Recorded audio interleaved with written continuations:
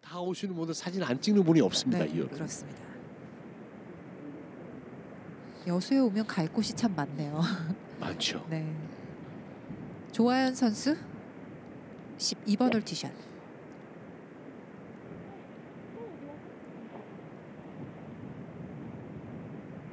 오. 오. 나왔나요? 보였나 봐요. 깔깔 지금 나온 것 웃는 같은데요. 소리가 네. 지금 들렸습니다. 왼쪽으로 갔는데 맞고 나왔나 보죠? 네. 아, 아니 언니 슬라이스 바람 안 봐요. 언니 훅바람이에요. 어 훅바람. 바람 아니야? 훅바람이야. 진짜? 슬라이스 바람 보고 쳤어요. 11시 보고 쳤어요. 아, 아, 바람을 반대로 생각했군요. 훅바람인데 슬라이스 바람을 보고 쳤군요. 아하. 왼쪽을 보고 치니까 이게 아 그렇죠. 높은 데 있으니까 음. 사실 이 홀이 바람 영향을 상당히 많이 받는 홀이거든요. 네. 그리고 티샷을 하면은 공이 하늘 위에 떠서 꼭 공이 바다 위에 떠 있는 것 같아요. 그러다가 이제 그린에 떨어지거든요. 네. 시원하게 티샷 날릴 수그 있게 장면이 멋있어요. 이걸로 이제 바다를 보고 샷을 하는 그런 느낌입니다. 가슴이 뻥 뚫리는 느낌이 들 것 같습니다. 자 올라가죠. 하늘입니다. 하늘인데 공이 이제 내려오면은 바다가 보이고 공이 오?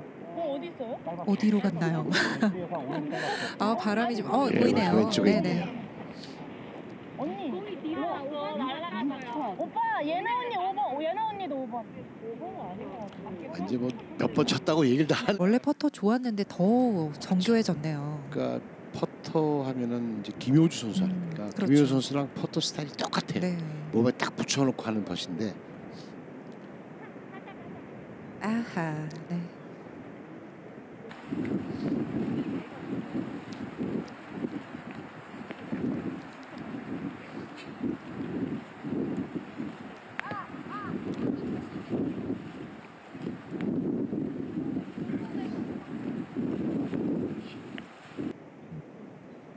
두 명을 캐디하다 보니까 박현경 선수 바쁘죠. 옷도 많이 들고 있고요. 그렇죠.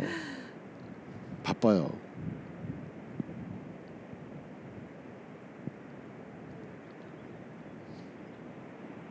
들어가면 공동 3위.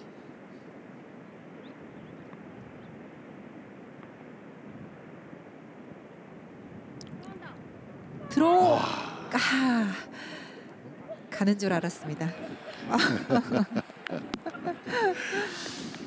토지신 탁 액션이 정말 좋습니다.